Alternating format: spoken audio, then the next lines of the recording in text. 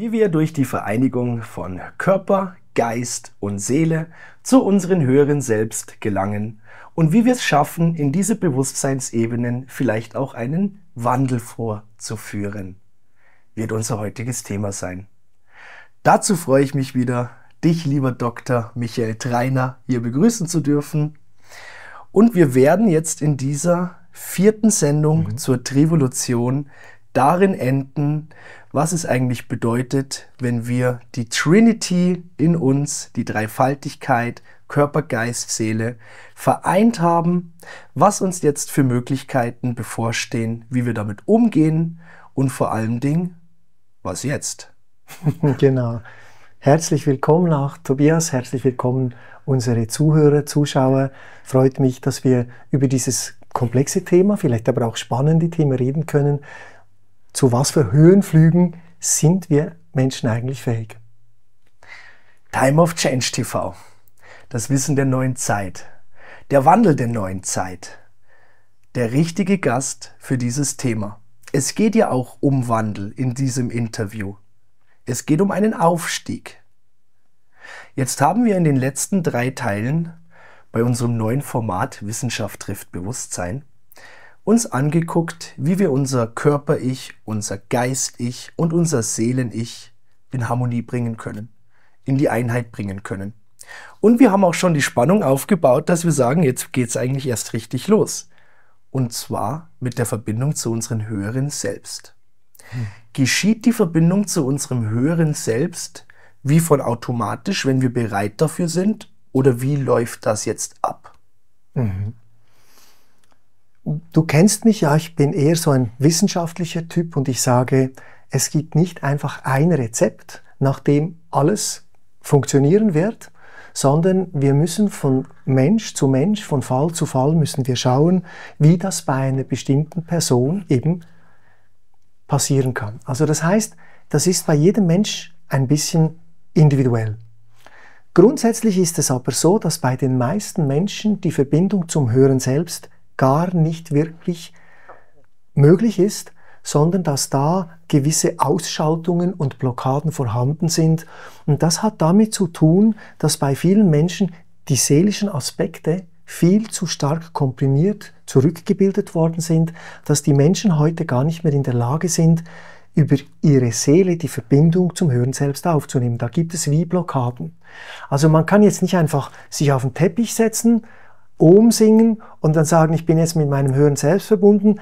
Man kann sich das sicher vorstellen, dass das so ist, aber wenn man dann das Unbewusste abfragen würde, ob diese Verbindung tragfähig ist, würde in vielen Fällen ein Nein kommen und es würde gesagt, ist dieses Wahrnehmen des Höheren Selbst eher über das Kognitive passiert und gar nicht wirklich mit dem Höheren Selbst eng verbunden ist. Also es scheint also etwas zu geben, außerhalb von dieser 3 oder 4D-Welt, das wie ein höheres Selbst auf uns einen Schatten wirft, uns steuert. Oder was meinst du mit höheren Selbst überhaupt? Mhm. Wir sind Therapeuten, die über das Unbewusste der Menschen arbeiten. Und wenn Menschen zu uns kommen, schauen wir, warum sie krank sind, warum sie eine psychische Störung haben. Und dann dringen wir im Grunde genommen in ihr komplexes Körper-Seele-Geist-System ein und schauen, wo sind da Blockaden und Schäden. Und beim Reparieren dieser Schäden sind wir mit der Zeit auf immer komplexere Themen gestoßen, haben gemerkt, ja, neben dem Körper gibt es eine Seele, dann haben wir gemerkt, ja, neben der Seele und dem Körper gibt es noch einen Geist, dann haben wir gemerkt, es gibt neben dem Körper-Seele-Geist-System des Menschen eine Verbindung, ein Kabel, ein Schlauch, wir nennen das den Seelenstrang, der die Menschen zu etwas verbindet, was auch noch zu ihnen gehört. Dann mussten wir das über die Jahre entdecken, das höhere Selbst. Und heute mit diesen richtig pragmatischen Erkenntnissen aus der Praxis, wir sind empirische Forscher, können wir sagen, Leben findet nicht so statt, dass wir hier einfach zufällig geboren worden sind, sondern es gibt Wesen, richtige Wesen. Die kann man sich mit Haaren, ohne Haare, mit langen Füßen, mit kurzen Füßen vorstellen. Es können menschliche Wesen sein, es können reptiloide Wesen sein, alle möglichen Wesen. Hoher, höher entwickelte Wesen, die bringen ihre Seelenanteile hierher und lassen sich hier inkarnieren. Also das heißt, wir, wir sind Geschöpfe, die von woanders, von einer höheren Ebene hierher inkarniert haben und hier so wie bei einem äh, Kasperle-Spieler wie Figuren von jemandem gespielt werden. Also wir sind nicht der Beginn und der Ausgangspunkt unserer Leben, sondern das ist ein höheres Selbst bei allen Menschen, die wir bisher in unseren Praxen hatten. Wie kommst du, promovierter Naturwissenschaftler, hm. hochempirisch, hochakademisch, denn eigentlich zu solchen frechen Aussagen wie ein höheres Selbst, die können aussehen, wie sie wollen, vielleicht auch außerirdische was soll denn das, wenn ich fragen darf? Ja gut, wenn du als Forscher sehr offen bist und die Antworten nicht scheust, die man dir geben kann, dann kommst du oft auch an der akademischen Forschung auf Antworten und Lösungen, die nicht in den Kontext unserer Wissenschaftlichkeit passen. Ich habe an der Uni geforscht. Und es ist ja auch so, dass du an der Uni gewisse Themen nicht beforschen darfst. Es ist nicht so, dass man alles beforschen darf. Und gerade in der Medizin sind die Barrieren sehr eng, was du an der Uni forschen darfst und was nicht, was dann schnell mal als Humbug abgestempelt wird. Und das mag so sein für die, die so glauben. Ich möchte das nicht kommentieren. Ich möchte einfach sagen, wenn du als Forscher in das Bewusstseinssystem eines Menschen eindringst, einsteigst und dir dort einfach Antworten geben lässt, dann kommst du ganz empirisch auf Antworten, die nicht in das Denkbild eines modernen Menschen im 21. Jahrhundert passen. Und da hat deine Forschung begonnen. Genau. Vor wie vielen Jahren eigentlich? Und das ist noch nicht so lange her. Ich habe 2012, also vor zwölf Jahren, mit dieser Forschung angefangen, weil ich einfach überzeugt war, als promovierter Naturwissenschaftler und Ökonom auch, dass die Medizin, die wir heute betreiben, irgendwo an die Grenzen kommt und dass wir die Menschen nicht mehr vernünftig heilen können mit dieser ganzen komplexen Maschinerie, die wir aufgebaut haben. Und habe dann eine kinesiologische Ausbildung gemacht und als Forscher gesehen, dass die Kinesiologen sich gar nicht wirklich fragen, wer über diesen Muskelreflex, den sie brauchen, antwortet. Und da ist natürlich der Forscher sofort aufs Tapet gekommen und gesagt, wir wollen mal schauen, wer da antwortet. Und so bin ich dann wieder in den Forschergeist reingegangen und habe mir das einfach angeschaut, weil ich überzeugt bin, dass wir nicht das Ende der Fahnenstange in der Medizin erreicht haben, vielleicht das Ende der Fahnenstange in Bezug auf Medikamente und technische Entwicklung, aber nicht auf ganzheitliches Heilen.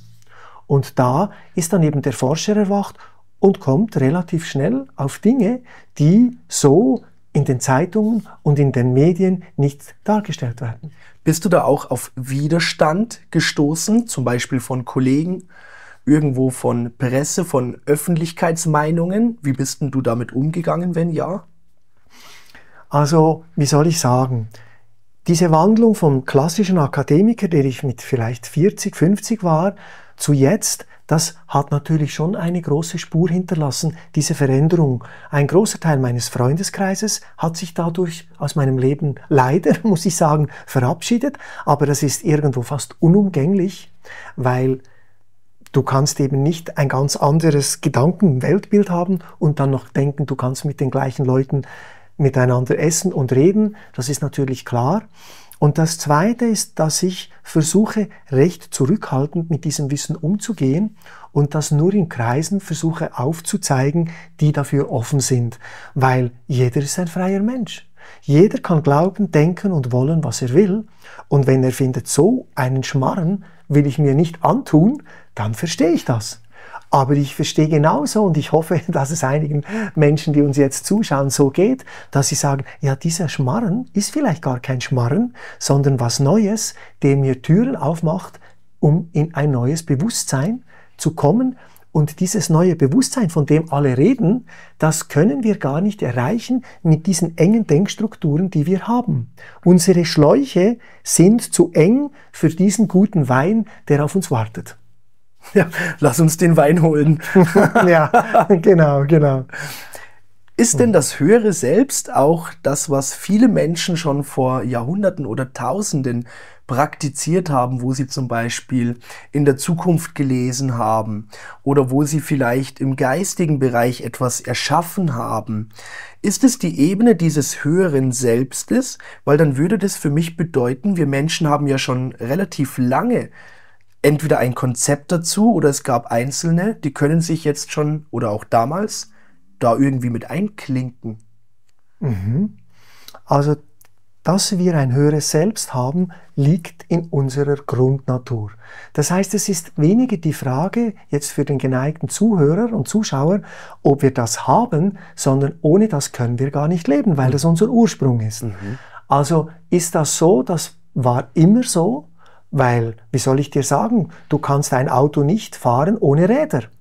Und bei uns ist es auch so, du kannst einen Menschen nicht inkarnieren ohne höheres Selbst, ohne ein höheres Bewusstsein, ein höheres Lebewesen, das einen Teil seines Seelen-Ichs zur Verfügung stellt, dass wir hier leben können. Das ist eine unumstoßbare Tatsache. So wie wenn du den Wasserkrug fallen lässt, zerbricht er am Boden. Und jetzt ist es einfach so, die Frage ist, ob die Menschen das wissen. Und dieses Wissen das war sicher zu den atlantischen Zeiten auf dieser Erde verbreitet. Wir wissen aus den Büchern, die wir haben und den Forschungen, dass die Ägypten, in Ägypten, die alten Ägypter, die wussten um diese Trinität, Körper, Seele, Geist und sie wussten, dass wenn die Trinität von Körper und Seele, Geist eingeschaltet ist, dass dann ein höheres Bewusstsein mit dem System in Verbindung geht. Das kann man an den Fresken, an den Schriften im alten Ägypten, kann man das erkennen. Auch die Griechen wussten das. Also das heißt, dieses Wissen ist überhaupt nicht neu, was wir hier zusammengestellt haben, sondern es ist ein Wiedererkennen von etwas, was die Menschen vergessen haben und weil sie es in den Büchern nicht finden, suchen sie es nicht. Und deshalb braucht es manchmal offene Forscher, die sagen, mir ist egal, was in den Büchern steht, ich schaue jetzt mal, was beim Herrn Fridolin Müller für ein Problem ist und ich schaue einfach von Null an, wo ist das Problem und dann stoße ich auf Dinge, die sind nicht in den Büchern. Aber das ist bestimmt so, dass dieses Wissen früher da war, es wurde uns wie weggenommen weil wenn der Mensch von diesem höheren Bewusstsein getrennt ist, dann ist er in Unwissenheit wie eine blinde Kuh. Lenkbarer. Viel lenkbarer. Und ich denke, das ist der Grund, warum uns dieses Wissen verloren, verborgen worden ist. Und ich denke, zu diesem Bewusstseinswandel, der jetzt kommt, ist eine ganz wichtige Komponente für das Aufwachen der Leute, für das Aufwachen unserer Zuschauer ist, dass wir uns dieses Wissen wieder zurückholen, uns erinnern, wer wir wirklich sind und mit diesem Wissen in einen Bewusstseinswandel gehen, der uns zu bewussteren, spirituelleren und, ich sage jetzt mal, umfassenderen Wesen macht. Hat da ein jeder die Möglichkeit oder ist es nur Ausgewählten vorbestimmt?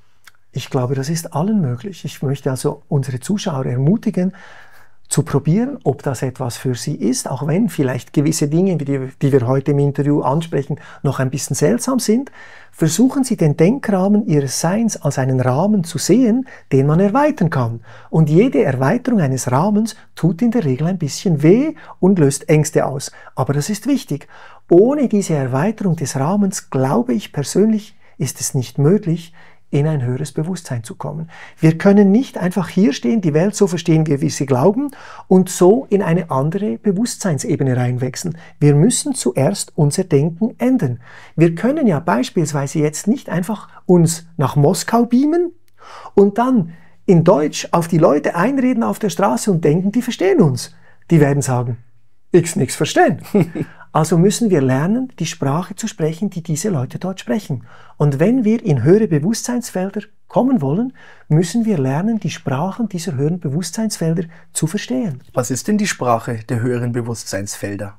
Ja, du stellst mir ja schöne ja, Fragen. Jetzt hast du mal hier was geliefert. ja, jetzt genau. komm, steh Rede und Antwort. genau, ich werde mich hüten, ja.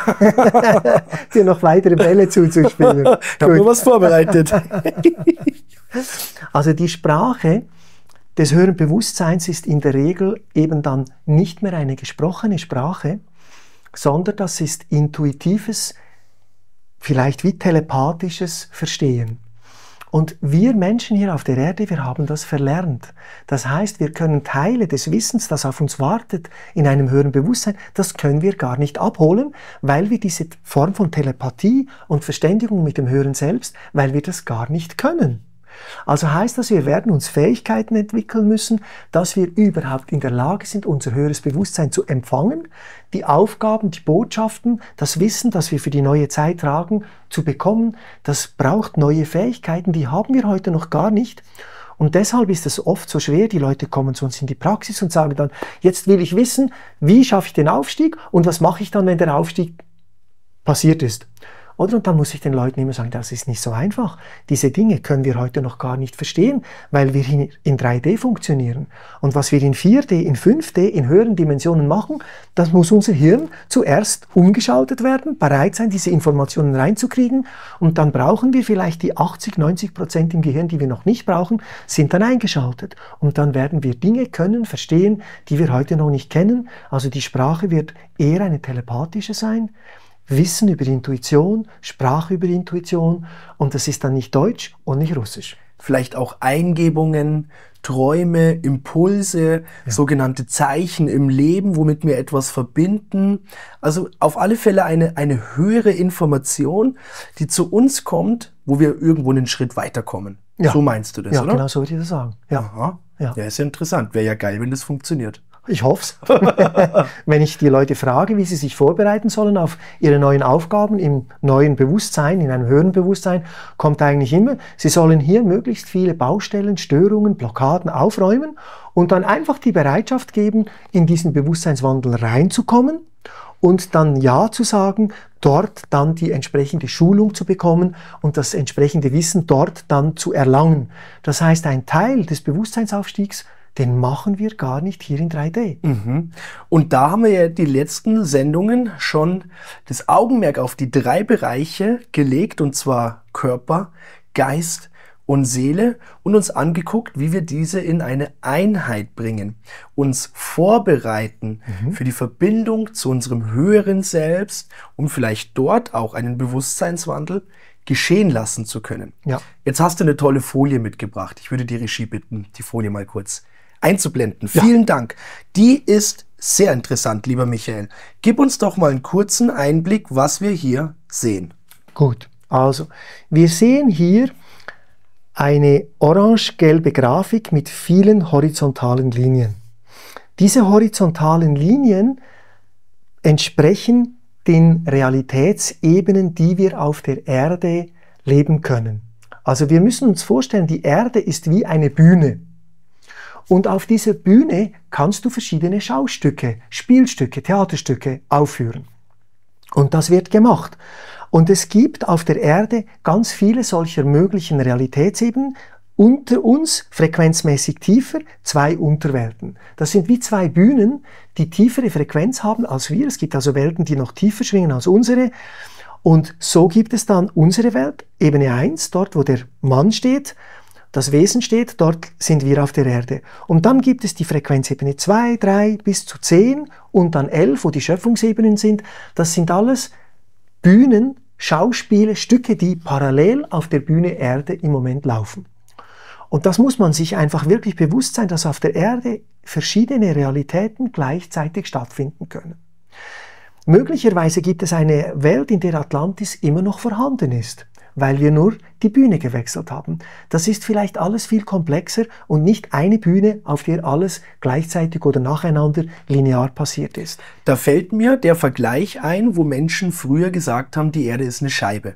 Genau. Mal davon abgesehen jetzt, was du von dieser Aussage hältst. Ja. Aber für die Menschen war das vor Hunderten von Jahren so. Jetzt ist die Frage, war es wirklich so oder nicht? Ich würde sagen, für diese Menschen, ja, war so war so. es.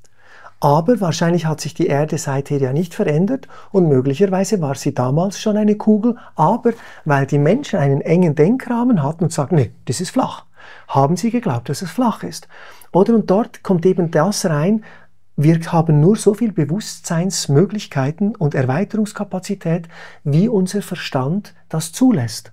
Und deshalb sage ich immer den Leuten, es ist so wichtig, wenn man ein höheres Bewusstsein erlangen kann, geht das nicht, indem man irgendwie biologisch ist und den ganzen Tag versucht, gute Gedanken zu haben, das reicht. Das ist wunderbar, aber das reicht nicht. Sondern du musst dein kognitives Setting erweitern, dass überhaupt mehr Bewusstsein in dieses System reinkommen kann. Und das ist eben dann wichtig, weil wenn wir zum Beispiel, und das gehen viele davon aus, dass wir in einem ersten Bewusstseinswandel aus der Ebene 1 direkt in die Ebene 3 springen wollen, dass wir dann eben wie einen anderen Denkrahmen brauchen und eine andere Vorbereitung, dass wir mit dem umgehen können. Und wenn der Mensch auf der Ebene 1 noch gar nicht bereit ist, so einen Denkrahmen herzugeben, aufzuweichen, zu sprengen, dann können wir hier nicht verschwinden. Die Limitierung steht uns entgegen. Genau. Die Begrenzung also. So wie der Mensch im Mittelalter vor Galileo Galilei glaubte, die Erde ist flach, verbrannt wurde, wenn er was anderes gesagt hatte, konnten die Menschen sich ja nicht vorstellen, dass man um die Erde rumreisen kann. Und dann haben sie es nicht gemacht. Also musste zuerst einer kommen und sagen, hey Freunde, das kann gar nicht eine Scheibe sein, weil es rund ist.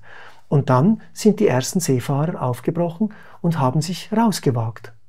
Weil sie dann wussten, man fällt am Ende nicht ins Nichts. Es braucht Wissen. Und du bringst mit deiner Trivolution Körper, Seele und Geist zusammen. Man sieht ja hier auf der Skala, die endet jetzt hier oben bei der Schöpfungsebene. Mhm. Geht das höhere Selbst jetzt darüber hinaus oder warum sollte ich mich mit dem jetzt überhaupt verbinden? Mhm. Also ich nehme diesen Ball gerne auf, Tobias, und schauen wir uns an, was auf dieser Grafik wirklich auch noch weiteres drauf zu lesen ist. Wir sehen jetzt also, wir haben verschiedene Realitätsebenen Ebenen und die Schöpfungsebene ist da, wo letztlich wir alle herkommen aus diesen Schöpfungsebenen. Unser Geist, der kommt aus diesen Schöpfungsebenen und ist im Grunde genommen der erste Teil, der sich bildet, wenn sich ein menschliches Wesen bildet. Also zuerst ist der Geist. Am Anfang war das Wort, heißt in unserer Schrift. Das ist der Geist.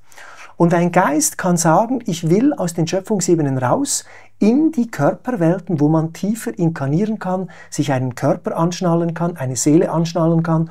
Und wenn ein Geist das machen will, ist eine sehr gut belebte und gut, gut ausprobierte Möglichkeit ist, dass ein Geist sich die Form eines höheren Selbst gibt.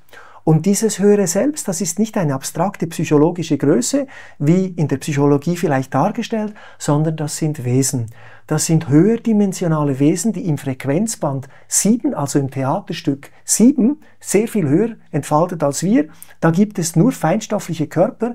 Also das höhere Selbst ist ein Geistwesen, das sich einen Lichtkörper sucht. Und in der Regel können sich diese höheren Selbste dann das bilden, was man als Seele bezeichnet. Und eine Seele ist im Grunde genommen nichts anderes als ein Speichergerät, das alle geistigen Erfahrungen sammelt, die ein höheres Selbst in verschiedenen Inkarnationen sammelt. Ja, jetzt einen Moment mal. Ja. Viele sagen doch, die Seele steht über allem, oder? Das glaube ich nicht. Mhm. Das glaube ich nicht. Ist jetzt interessant. Ja, also wenn du das abfragst und bei den Klienten fragst, wo ist letztlich dann die, die, die höchste Ebene, wo wir uns verändern können, wo wir auch therapeutisch reparieren können, dann kommt immer das Geistig, das scheint zuerst zu sein. Mhm. Und muss man vielleicht sagen, wird jetzt die Leute ein bisschen erschrecken, es gibt Menschen in meiner Praxis, die haben kein blaues Seelenich. Es gibt Inkarnationssysteme, da fehlt das Seelenich, weil die das nicht brauchen. Die brauchen diesen Geistrekorder nicht, der die Dinge aufschreibt. Die brauchen das nicht, weil sie vielleicht nur ein paar Jahre hier sind und das nicht aufzeichnen wollen. Also ist zuerst der Geist, der kann beschließen, ein höheres Selbst zu werden und dieses höhere Selbst ist dann in der Lage, Teile seines Wesens als Seelensplitter abzuspalten und in einen Körper, in einen physischen festen Körper rein zu inkarnieren. Und dabei hat es die Möglichkeit, bei uns in der Ebene 1 zu inkarnieren in der Ebene 2, in der Ebene 3 und mit einem feinstofflichen Körper in der Ebene 4. Also die Seelen, die wir heute haben, können in verschiedenen Frequenzebenen im Grunde genommen leben. Wir haben also ganz schlaue Körper, die in der Lage wären, das Theaterstück zu wechseln. Dazu muss man sich aber ein bisschen vorbereiten und damit umgehen können, dass der Denkrahmen in anderen Frequenzebenen anders ist. Dass wir vielleicht in einer Frequenzebene 3 automatisch hellsichtig sind, telepathisch sind und mit unserem höheren Selbst sprechen können. Da muss man vorbereitet sein. Sonst denkt man, na, ich bin jetzt. Ja. Mhm, mhm. Mhm. Und drückt diese Erkenntnis ja eigentlich wieder weg durch den Stempel, ich spinne jetzt. Das ist ja nicht real. Genau, genau. Verschwindet dieses höhere Selbst aufgrund diesem Stempel, das ist ja nicht real, ist es dann wie beleidigt oder versucht es dir immer wieder kleinere Hinweise zu geben, hey, hallo? Ja. Also so wie ich das wahrnehmen kann über meine Klienten, ist das höhere Selbst nicht mit so einem kleinen, grämigen Ego bestückt wie wir. Wenn du nicht willst, dann will ich auch nicht. Das ist im Grunde immer ein sehr liebevolles Wesen, dieses höhere Selbst. Ich schreibe in meinem Buch, es ist wie eine liebevolle Mutter, mhm. die sein Kind durch alle Schwierigkeiten, Stürme des Lebens liebt und an der Hand führt. Also wir können vertrauen, wir sind gehalten und geführt. Absolut. Jetzt ist das Problem aber, dass das höhere Selbst bei uns nicht mehr durchdringt, weil wir dieses Wissen verloren haben und viele das auch gar nicht glauben. Viele Menschen werden von der modernen Wissenschaft dazu angeregt, dass es nur den Körper gibt. Also alles, was über den Sack von Knochen hinausgeht, ist Spinnerei. Oder und wie willst du dann, wenn du so denkst, mit dem höheren Selbst in Kontakt treten? Du glaubst ja gar nicht, dass es das gibt. Und wenn du doch vielleicht etwas bekommst, tust du es als Spinnerei ab, zählt also genauso. Ja, genau. Und dann ist die Schwierigkeit, das höhere Selbst ist dann wie die Mutter, sie sieht auf ihr verlorenes Kind und weiß, naja, das kann mich nicht hören. Es will mich nicht hören, es weiß nicht mal, dass es mich gibt. Oder und dann kann diese liebende Mutter, das höhere Selbst, kann dann versuchen, dem Zuschauer, uns als Menschen, immer wieder Stolpersteine in den Weg zu stellen, dass wir angeregt werden, nachzudenken, warum ist jetzt das so? Warum passiert mir dieses Unglück? Warum habe ich dieses Problem? Warum zum Donner in der Welt bin ich ein armer Kerl?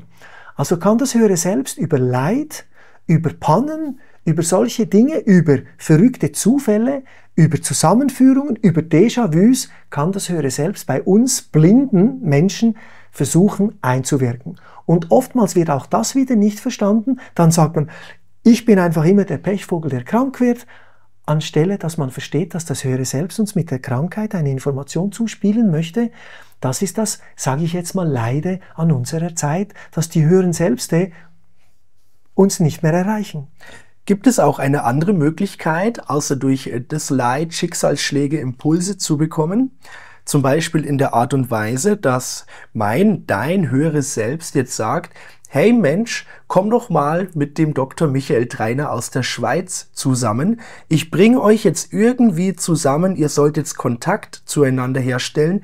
Ihr habt hier was zu tun, mhm. ihr habt euch irgendwie auszutauschen. Mhm. Sind es auch so kleine geführte Lebens- wie Weggabelungen, die du darunter verstehst? Mhm.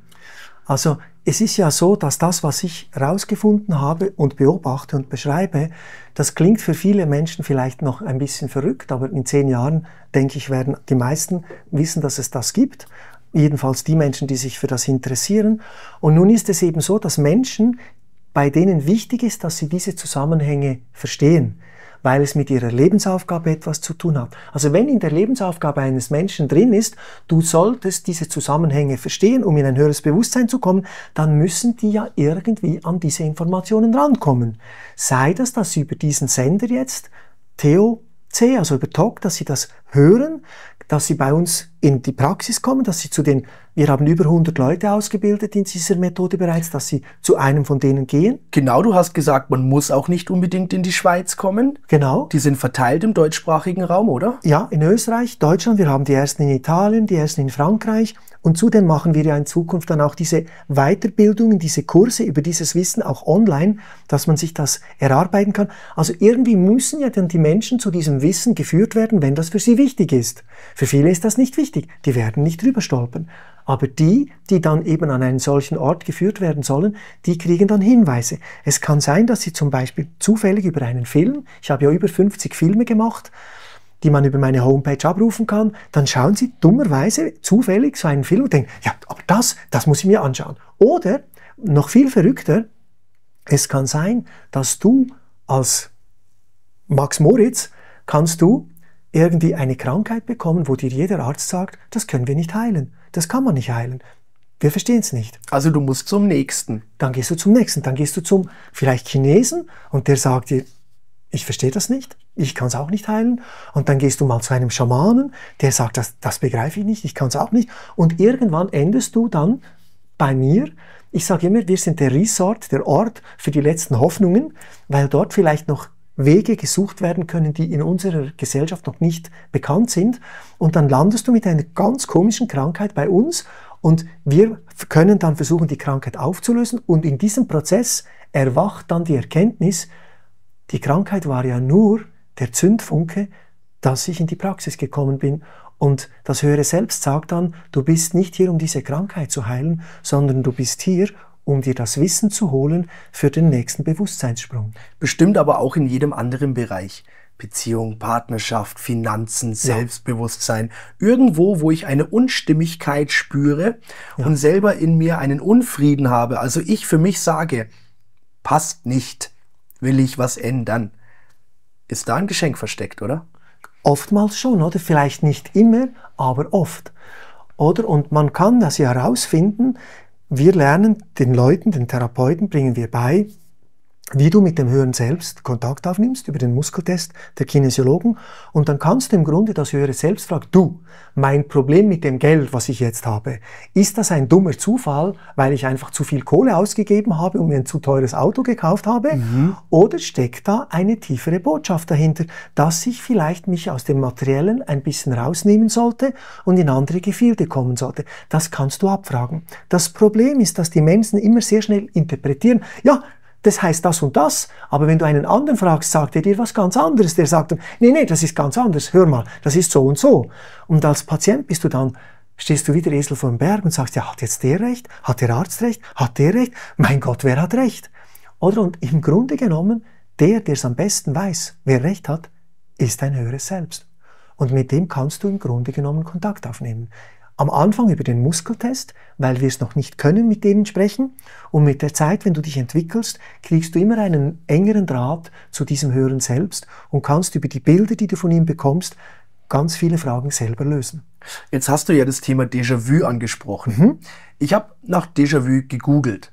Es ist ja ein Bereich oder ein Thema, wo sehr viele Meinungen kursieren, wo es aber nicht wirklich Forschung dazu gibt. Mhm. Weil es oft heißt, nee, ist so ungreifbar, das ist irgendwie eine Einbildung im Gehirn, eine Fehlschaltung, irgendwie so die Richtung. Mhm. Muss ich für mich sagen, stimmt nicht ganz, ist für mich nicht stimmig.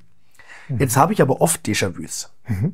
Und bei unserem letzten Abendessen habe ich dir auch von meinem Déjà-vu wieder erzählt, das ich erst vor kurzem hatte. Stimmt wo wir uns getroffen haben. Mhm. Und ich kann für mich feststellen, wenn ich beobachte, zu welchen Zeitpunkten ich so ein Déjà-vu habe, mhm. bestimmt mal alle ein, zwei, drei Monate. So oft? Mhm, so oft. Mal dauert es auch ein halbes Jahr, passiert nichts, mal kommen die aber auch sehr schnell. Wenn ich dann mir angucke, in welchen Situationen ich diese Déjà-vus bekomme, dann sind es für mich wie entscheidende Momente im Leben. Mhm. Oder wie, wie Weggabelungen, wo ich jetzt das Gefühl bekomme, wie, das habe ich schon gesehen. Ich glaube, da bin ich auf dem richtigen Weg. Mhm. Ich glaube, das passt jetzt zu mir. Ich glaube, da bin ich wieder mehr bei meinem höheren Selbst, mhm. bei meiner höheren Führung. Mhm. Mhm. Hatte ich diese Déjà-vus nämlich nicht. Also bedeutet für mich, war ich nicht auf meinem rechten Weg, hat mein Leben auch nicht funktioniert. Ja, ja, ja. Dann kamen Probleme, dies und das. Mhm. Und äh, kaum bekomme ich diese Déjà-vus wieder, mhm. regelt sich alles wie von selbst. Natürlich mhm. schon durch mein Zutun, aber mhm. ich bekomme jetzt Flow-Rückenwind. Du bekommst Informationen, die dir helfen, sicherer zu sein, dass du die Dinge, die du gerade machst, die richtigen sind. Genau. So ungefähr funktioniert das höhere Selbst, wenn es mit uns spricht. Mhm. Dass es uns einfach wie Steuerungs- Hinweise gibt, weil die wissen ja, das höhere Selbst kommt aus einer hochentwickelten Ebene, aus der Frequenzebene 7. Wir sind in der Frequenzebene 1, da trennen uns nicht nur Welten, sondern viele Welten. Also das ist ein ganz anderer Bereich, wo die leben, die höheren Selbste. Die leben in einer spirituellen Selbstverständlichkeit, die wir gar nicht begreifen können. Also werden uns die Hinweise geben und die können beispielsweise über Déjà-vus reinkommen. Oder wenn man das beforscht, wir sind ja Forscher, ich bin ein Forscher, ich habe an der Uni geforscht. Ich forsche jetzt in diesem Unbewussten, weil sich darf kaum Forscher hinwagen. Und dann kannst du sehen, dass Déjà-vus beispielsweise verschiedene Ursachen haben. Mhm. Déjà-vus können dadurch entstehen, dass dein höheres Selbst in einer anderen Form schon mal inkarniert war mhm. auf der Erde und dann kommst du an einen Ort, wo ein Teil deines höheren Selbstes schon mal war. Dann sind das Rückerinnerungen als Déjà-vus, die du tatsächlich in einer anderen Inkarnation wieder verbindest. Das ist eine Möglichkeit von Déjà-vus. Es gibt aber auch ganz andere Déjà-vus. Wenn wir das beforschen, sehen wir, dass ein Teil der Déjà-vus beispielsweise im Traum passiert. Mhm. Im Traum werden dir Bilder gezeigt von Situationen in der Zukunft. Morgens wachst du auf und hast den Traum vergessen dann gehst du da an einen Ort hin und sagst, na, das kenne ich. Genau. Das ist aber ein Déjà-vu aus dem Traum. Das gibt's. Da würde ich mich eher mit drin einordnen. Für mich ist es in, in dem Moment wie schon mal gesehen, schon mal erlebt. Ich schaue mich um und die Szene passt 100 Prozent. Okay, das ist möglich. Und dann, wenn wir schon dran sind, es gibt, ich, ich zähle jetzt mal die wichtigsten drei auf. Die, eine wichtige dritte Form von Déjà-vus, die wird durch künstliche Einspielungen in unser System erzeugt. Du musst dir das so vorstellen, unsere Seele, unser Geist, das besteht aus Programmierung, das ist wie Software. Und jetzt kann ein nettes Wesen oder ein böses Wesen, kann in diese Software Bilder, Erinnerungen einspeisen, die gar nicht deine sind. Und dann können die dir irgendein Bild einspeisen, wo du dann das in dir drin hast und dann kommst du in eine Situation und denkst, na, das kenne ich doch, das habe ich doch schon mal gesehen und denkst, das ist richtig.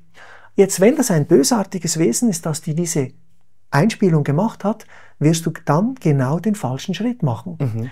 Den, den sie dir vorprogrammiert haben, dass du diese Weggabelung nicht nach links nimmst, wo du solltest, sondern eben nach rechts, weil man dir das Hologramm eingespielt hat, du musst nach rechts.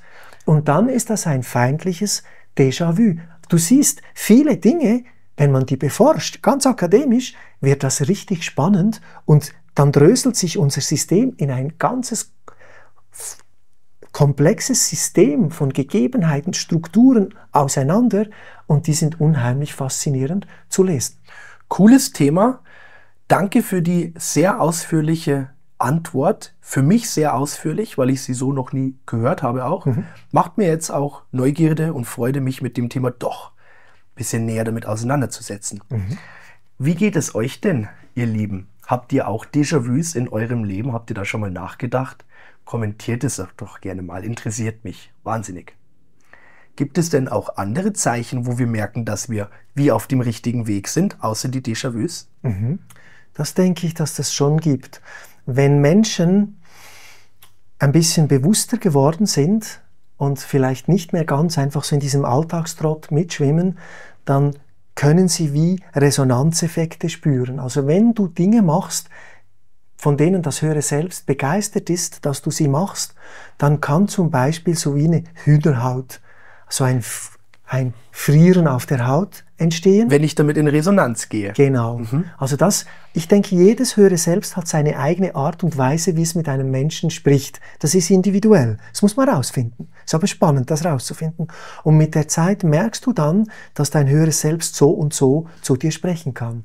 Es gibt Menschen, die hören das höhere Selbst wie ein Klacksen und wenn sie irgendeinen richtigen Entscheid machen, klackst hier. Mhm. Es gibt bei jedem Menschen ein bisschen anders und man muss herausfinden, wie das Höhere selbst mit uns redet. Und natürlich, die weniger schöne Geschichte haben wir, glaube ich, schon erwähnt, ist ja, dass wir Krankheiten, Störungen und Pannen haben, die uns auf die schmerzvolle Weise dann Hinweise geben.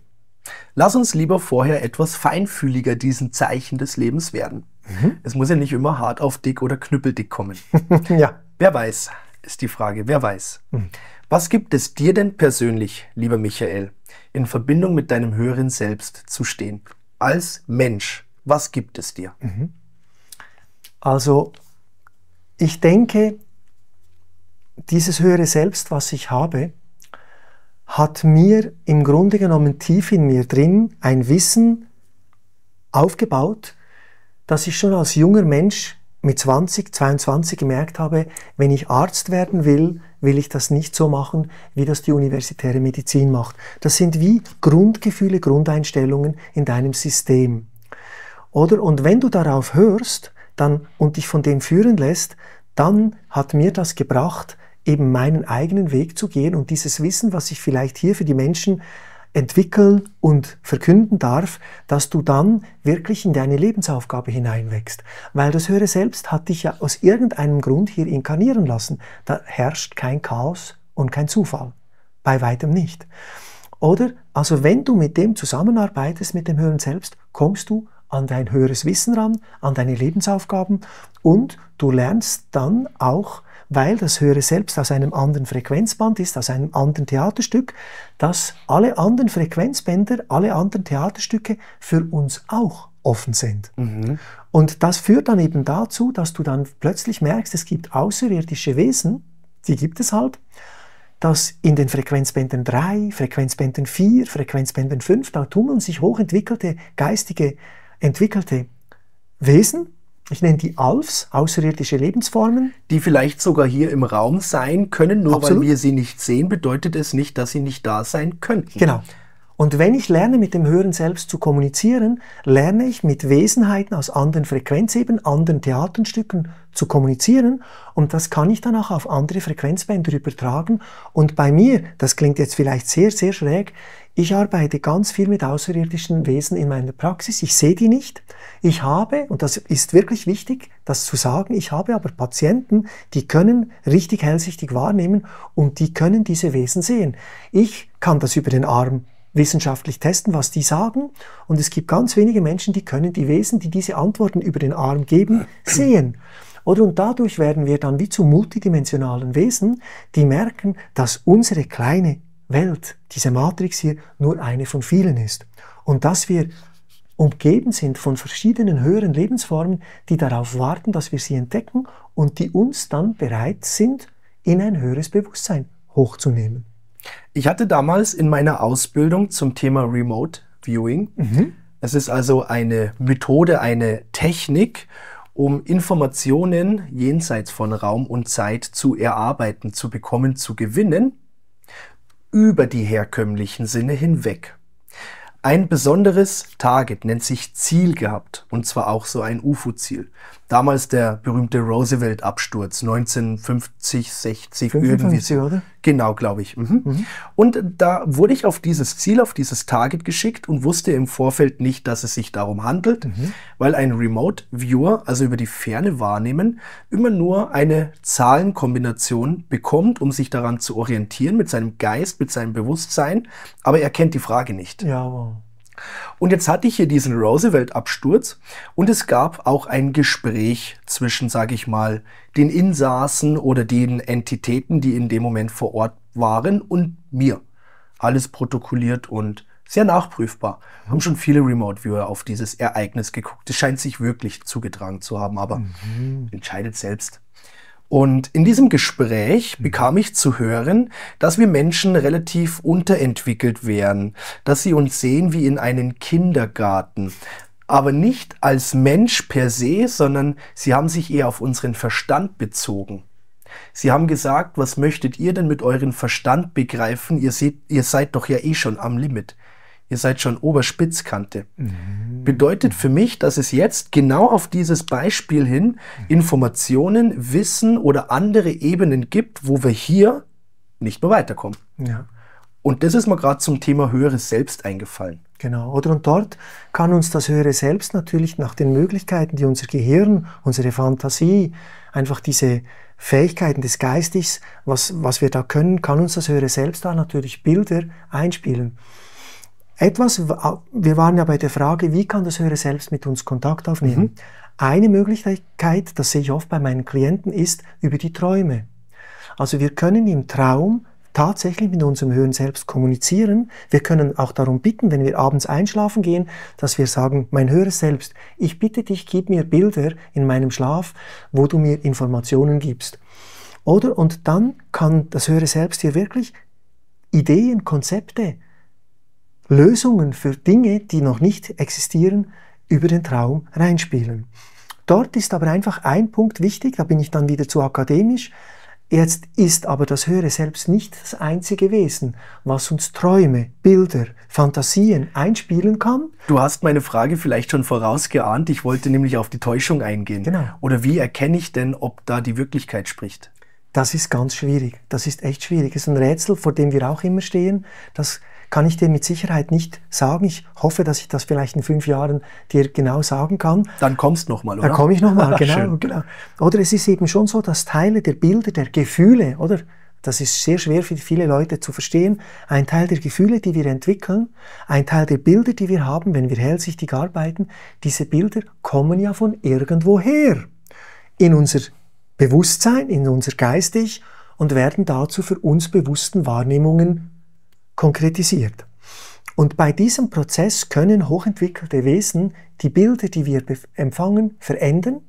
Sie können das Gehirn, indem wir die Bilder wahrnehmen, auch beeinflussen und dann sind diese Bilder falsch. Das kann bis in die Träume gehen. Ich habe Menschen, die kommen zu mir und die wollen wissen, wer hat ihnen die Träume gemacht, die sie hatten. Und das ist sehr interessant. Manchmal ist das das höhere Selbst, manchmal ein Geistführer, der ihnen sagt, jetzt musst du aufpassen, wenn du so weitermachst, stirbst du. Also die können das alle, aber jetzt aufgepasst, es gibt auch Wesen, die uns nicht wohlgesinnt sind, die uns solche Bilder und Déjà-vus einimpfen können im Schlaf, in der Meditation, in der medialen Arbeit. Und dort ist eben eine riesige Fehlerquelle. Und das erklärt mir jetzt als Akademiker, warum so viele medial arbeitende Menschen ja im Grunde den Menschen gar nicht so viel weiterhelfen können wenn, wir das, wenn das ja so einfach wäre, könnten ja die Leute zu einem Medium, der heilt sie und dann würden alle gesund. Aber so einfach ist es in meiner Erfahrung nicht. Und das hat wiederum damit zu tun, dass ein Teil dieses spirituellen Gebarens, des Medierens, des medialen Sehens, des Heilens, wird beeinflusst auch durch Wesen, die uns nicht wohlgesinnt sind. Und die verpfuschen dann im Grunde genommen die Zusammenarbeit mit der geistigen Welt. Und dann können die kritischen Akademiker sagen, ja, seht doch, funktioniert ja nicht. Aber wenn man es genauer versteht, versteht man, warum es nicht funktioniert, wischt diese manipulativen Kräfte beiseite und kommt dann ganz langsam aber sicher an einen tieferen Punkt mit tieferen Einsichten. Ich glaube, auf diese Reise muss sich jeder selbst machen. Und ich glaube, das sollte auch die Botschaft unserer Interviews oder dieses Interviews sein. Denkanstöße zu geben, Impulse zu präsentieren, mhm. vielleicht eine Möglichkeit für dich zu Hause aufzuzeigen, wie du mal jenseits von diesen Gehirnkonstrukten versuchen kannst, dein Leben neu zu erfahren oder neu zu gestalten, wenn du den Wunsch danach hast. Mhm. Also ich denke jetzt dieses theoretische und wirklich sehr tiefe Wissen in unser Leben zu integrieren, wäre der nächste Schritt. Und dafür scheint die Trivolution recht gut zu sein. Mhm. Um dann, wenn ich Mr. Trinity bin, mhm. um auch den Zugang zu dem höheren Selbst zu bekommen. Mhm. Und dann muss ich mir meine Meinung ja eh selber bilden. Genau, und du musst schauen, was dir von diesen Ebenen dann mit auf den Weg gegeben wird. Mhm. Das ist ja bei jedem anders. Hast du denn vielleicht noch einen praktischen Tipp, wie wir zum Thema Hören selbst, wenn es uns jetzt interessiert, irgendwie einsteigen können, uns beschäftigen können. Du hast vorher gemeint, ich kann mein höheres Selbst bitten, mit mir in Kontakt zu treten. Mhm. Muss ich dem seine Handynummer kennen oder woher weiß der, woher das kommt oder wen ich anfunke? Mhm. In der Regel kann man die mit dem Handy leider nicht erreichen, also reicht die Nummer nicht. Ähm, wie du das machen kannst, ist, dass du im Grunde genommen eine kurze Meditation machst.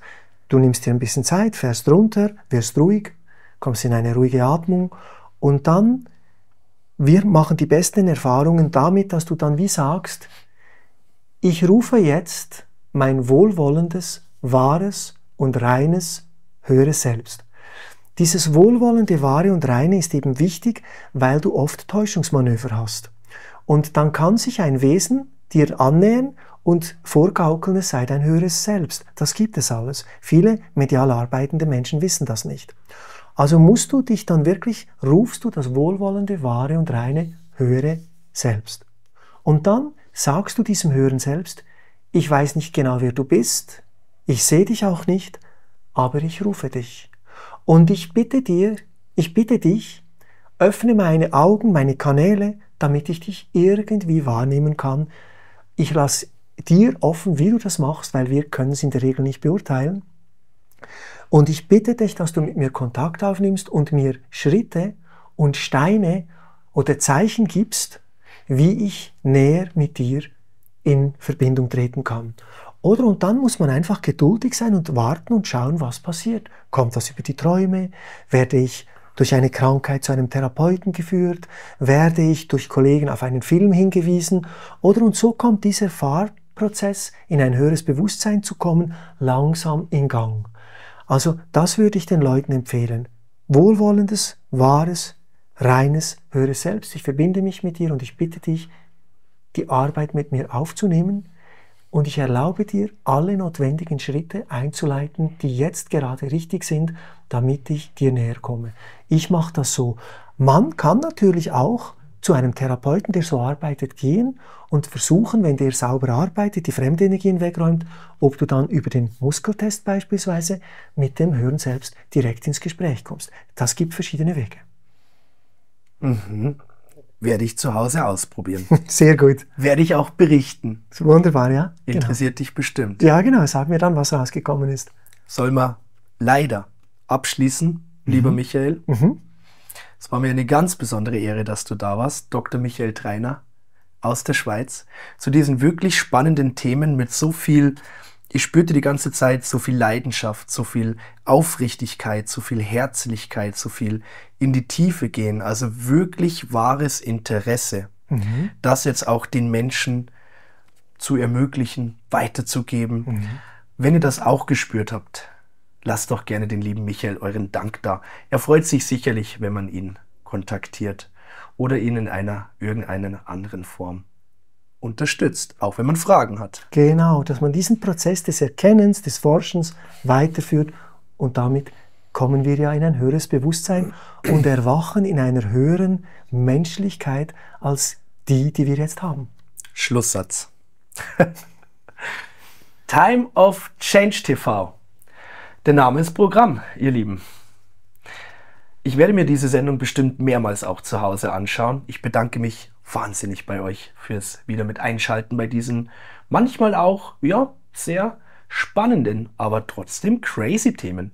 Entscheidet selbst, was ihr damit macht. Findet euren Weg, findet wieder mehr zu euch. Ihr seid bestimmt geführt. Davon bin ich überzeugt. Ich wünsche euch alles Liebe und freue mich auf eine weitere Folge mit euch und Time of Change TV. Vielen Dank.